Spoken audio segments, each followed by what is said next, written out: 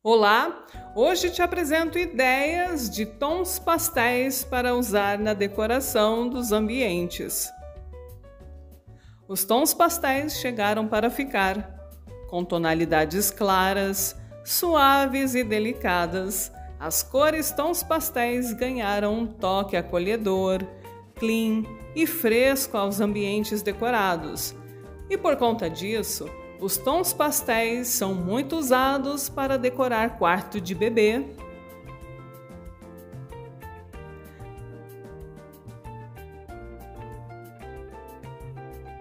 quartos infantis,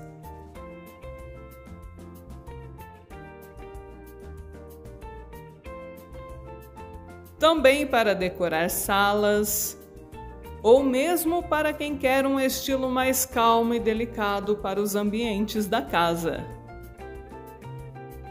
Mas é importante entender melhor o que são os tons pastéis, não é mesmo? Pois bem, as cores tons pastéis recebem esse nome porque sua cor se assemelha aos gizes utilizados na escola e hoje em dia a paleta de cores tons pastéis está super em alta no mundo da moda, decoração e até mesmo em itens de papelaria. A principal característica das cores tons pastéis está na sua tonalidade bem clara e suave de várias cores como rosa, azul, amarelo, entre outras. E essas cores pastéis garantem um toque muito acolhedor e suave à decoração e com a tendência do minimalismo, os tons pastéis estão cada dia mais em alta, por essas cores se harmonizarem muito a esse estilo. Hoje em dia também há quem chame os tons pastéis de candy colors, ou seja, cores de doces.